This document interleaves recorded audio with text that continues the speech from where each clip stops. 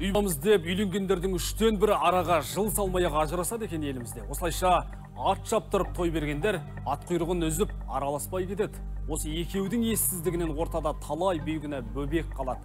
Тағдырлары талқан болады. Бала анасында қалсын әке алимент төлесін деп сот балғасын тақ еткізеді делік. Одан кейін тақылдату эстафетасы жалғызбасты ананың еншісіне өтеді. Алиментті әлі төлемеді деп сот орындаушының есігін тақылдатады балаңа қарай лас деп бұрынғы күйеуінің қақпасын тақылдатады. Сөйтіп жүріп жүйкесін тоздырады уақытын оздырады. Себебі алимент өндіру өнбейтін тірліктің бірі болып тұр қазір. Азаматтық ардан мемлекеттік заңнан аттап жүргендер туралы дана дәулетқызы айтсын. Астана қаласының тұрғыны сәуле ықышева 16 жылдан бері бұрынғы күйеуі дүйсебек нүсіпбаевтан алимент өндіре алмай жүр. Ол баласымен бірге далада қалғанымен қоймай бұрынғы күйеуі бір тиын төлемеген. Осы уақытқа дейін өтелмеген алимент соммасы қазір 6 миллион теңгеден асқанын айтып отыр. Баланың өміріне пысқырып та қарамайтын әкенің әрекеті мен құзырлы органдардың жауапсыздығы сәулені әбден шаршатып жібергенге ұқсайды. На данный момент я қазіргі кезде мен жұмыссызбын. Жұмыс болмағаннан немесе істегім келмегеннен емес осы алимент өндіру ісін соңына дейін жеткізу үшін осындай әрекет жасадым. Мен бұрынғы күйеуіммен 2007 жылы ажырастым. Бір баламыз бар. Ажырасуға тұрмыстық зорлық зомбылық көруім себеп болды.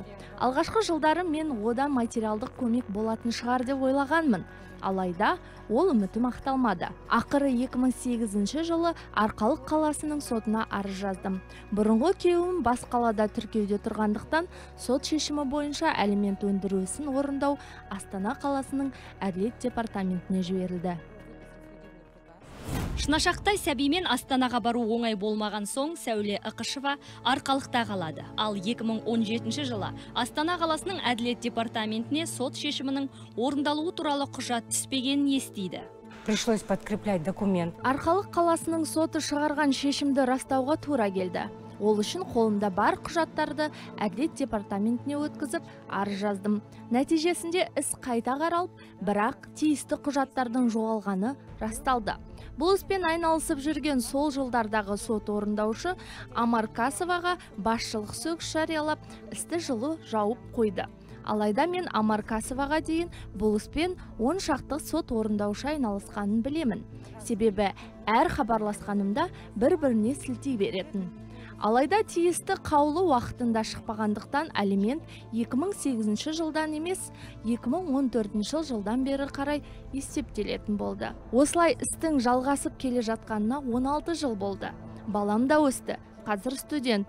Оқу ақысын төлеуге де қиналып жүрмін. Біз кейіпкеріміздің бұрынғы күйеуі нүсіпбаев дүйсебекке де хабарластық. 16 жыл болды сіз алимент төлемей жүрсіз. Не себепті? Не себепті өзінен сұрасаңызшы не себепті екенін енді сізден де білуіміз керек қой. А? Енді білгенде маған ештеңкені айтпай беріп тастап маған он бес жылдан кейін хабарласып тұрса сол демекке сумманың бәрін көбейтіп тастап. Мен өзім басқа отбасым бар қазір үш балам бар кішкентай. Өзім квартирада тұрамын мен қалай қазір мен уже өзіңіз ойлаңызшы мен қазір сол деломен қазір жүгіріп жатырмын өзімде ана жерде судебниктердің бәрі маған көп сумманы нетіп тастаған мен ол суммаға не согласен. А мен ондай төлейтін ақшам жоқ сразу беретін. Мен сол үшін қазір деломды қайтадан өзім нетіп ыыы жаңағы Ал- астанадан келген төрт миллион екі жүзді қалдырып ы, ай пай маған қанша бөліп береді мен содан төлеймін. Мен қашып тұрған жоқпын одан. Біз бұл мәселеге қатысты жан жақты ақпарат алмақ болып астана қаласының әділет департаментіне бардық. Енді 2008 бен 2014 ә, аралығында есептеу мәселесі бойынша ол кісі бізде жаңағы қабылдауда болып жаңағы тиісті орынбасардың қабылдауында болып ол кісіге түсіндіру жұмыстары жүргізілді. Ол бойынша ол кісіге қазір біз есептеп бере алмаймыз. Өйткені ол атқару өндірісі бізде сақтау мерзімі 5 жыл. Сақтау мерзімі 5 жыл бізде ешқандай атқару өндірісі қазір қолымызда жоқ. Ә, арт сыртқы немен есептеу бізге ә, заңмен ондай көрсетілмеген. Сол себепті сотпен есептеу туралы ол кісіге кеңес берілді.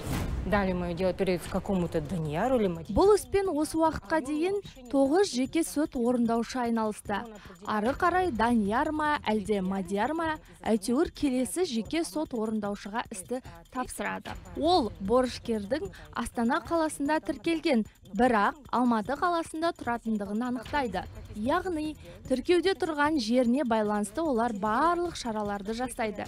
Кейін территорияға байланысты іс мұсақовқа беріледі. Ол жабылып іс сақовқа өтеді.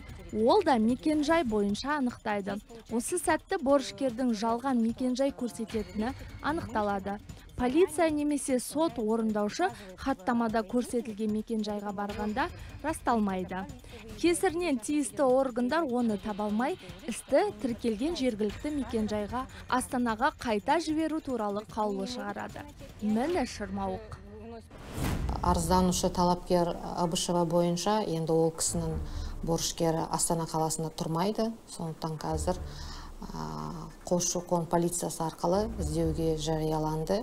Сол кісілердің көмегінен кейін ә, тапқаннан кейін ә, қай жерде белгілі болады пропискасы бірақ астана қаласында. Егер де астана алматы қаласын тауып сол жерде өмір сүріп жатса аумақтық бойынша жеке сот біздің жеке астананың жеке сот орындаушысы алматы қаласына жібереді орындауға. Суд вынес. сот шешімі шыққан соң ол міндетті түрде орындалуы керек қой. Мен бас прокуратураға арыз жазуға барғанда мені қалалық прокуратура жіберді. Қалалық прокуратураға мені есіл ауданының прокуратурасына жіберді. Ол жерде мен қабылдауда болдым. Маған бұл ауыр қылмыс емес. 16 жыл алимент төлемегені үшін біз ол кісіні жауапқа тарта алмаймыз деді. Мен кімге шағымданам? Не істеймін соңғы берген жауаптарда борышкер алматы ауданында тіркелген. Істі сонда жібереміз деді. Бірақ аудандық полицияға арыз жазғанымда маған қылмыстық жауапкершілікке тартуға негіз жоқ деп бұл іспен жеке сот орындаушы айналысу керек деген хат келген. Ал жеке сот орындаушыда ондай құзырет жоқ. Мен үшін бұл шешілмейтін түйін болды. Біз астана қаласының полиция департаментіне осы іске қатысты хат жолдадық. Аталған мәселеге байланысты жауап келгенде міндетті түрде хабарлаймыз. Дана дәулетқызы біздің назарда.